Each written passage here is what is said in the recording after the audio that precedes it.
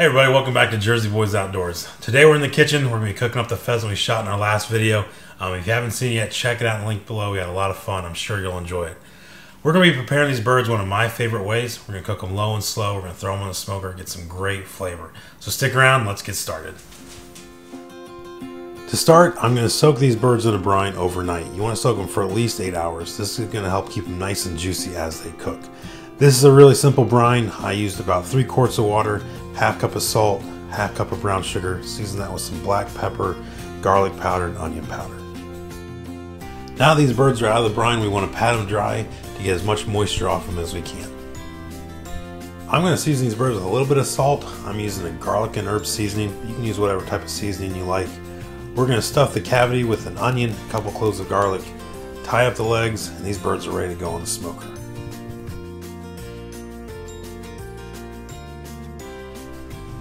Alright, I got my propane smoker, temperature set to about 225. I'm um, to get these birds on there. I expect this to take about three hours, but we're to watch that internal temperature. I want to bring it up to about 165. Today I'm to be using a couple chunks of pecan wood. This is to add some great flavor without over smoking the bird. Alright, these birds have been on the smoker for about an hour. We're to start basting them. I'm to use a real simple mixture of melted butter, some honey, some of the same garlic and herb seasoning we put on the birds. We're to do this every 45 minutes till these birds are done. I'm also to use this time, we're to put a probe in and start watching that internal temperature.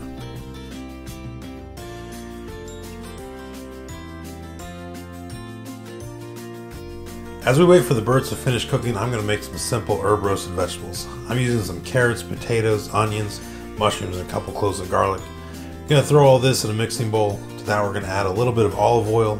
We're going to season this with some salt, some dried parsley, a little bit of dill, crushed red pepper flakes, black pepper. Mix everything together. Everything's incorporated, we're going to spread it out on a couple baking sheets. We'll throw this in the oven set to 400 degrees. Should cook for about 30 minutes.